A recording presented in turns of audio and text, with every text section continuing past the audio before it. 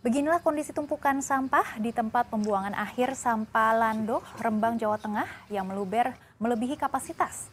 80 hingga 90 ton sampah per hari datang dari sejumlah daerah di Kabupaten Rembang. Sebagian besar adalah sampah rumah tangga dan sampah dari sejumlah tempat wisata di Rembang. Luas lahan penampungan yang mencapai 7,5 hektar sudah tidak mampu menampung sampah hingga terjadi tumpukan sampai hingga 1 kilometer dari tempat penampungan. Kepala Dinas Lingkungan Hidup Kabupaten Rembang, Ika Himawan Afandi mengatakan munculnya tumpukan sampah hingga meluber di Jalan TPA Lando adalah akibat kerusakan sejumlah alat berat.